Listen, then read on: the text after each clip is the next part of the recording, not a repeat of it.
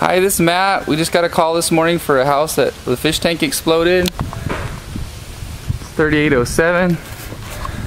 Take a look inside real quick. We've got two big tanks. This was a saltwater aquarium and it burst. We got pergo floors. See Sean's here picking up the taking apart the floor and you can see the water all over the floor. We have another large fish tank. Homeowner is um, draining so we can move it. Water came through. Let's get the moisture meter here. Water came through the cabinets, from under the cabinets. And you can see the bottom of the cabinets are very wet. So we're going to remove those kick plates and dry underneath so we don't have any mold or mildew problems. Anytime you have a problem with water in your house, please call Mr. Dryout. 24 hours a day, 7 days a week. Excuse me.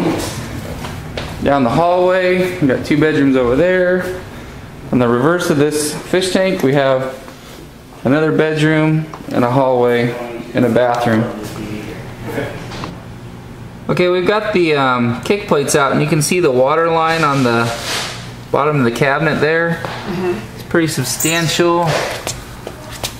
You know, even over there in the other corner, see the water line. Here's a view of the floor removed. You can see how dark the concrete is. It's very wet. And you can see under the wall that wood there soaked.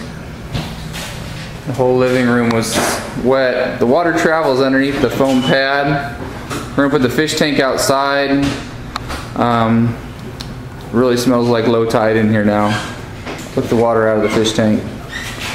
And in this room over here, the son's room, we're still working on taking out the floor in here in the other bedroom. So now we got the tank outside and you can see there coming right off the side it's really coming down.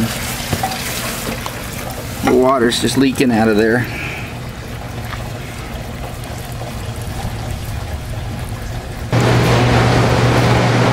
This is Matt. Here's the equipment placement. We got a fan here in the hallway. In the son's bedroom, we've got two fans and a dehumidifier.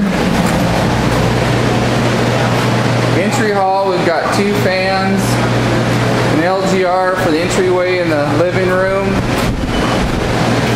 Two fans in the living room there. See we take all the baseboards out.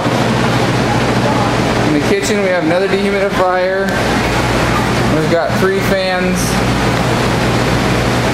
to dry underneath the cabinets of the kitchen. Great job for Mr. Dryout. Call anytime. Thank you.